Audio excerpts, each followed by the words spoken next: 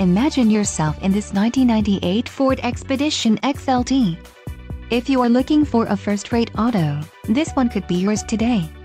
This vehicle comes with a reliable 8-cylinder engine, connected to a smooth shifting automatic transmission. Enjoy these notable features, ABS, pass-through rear seat, adjustable steering wheel, AM-FM stereo, driver airbag, cassette, and power steering.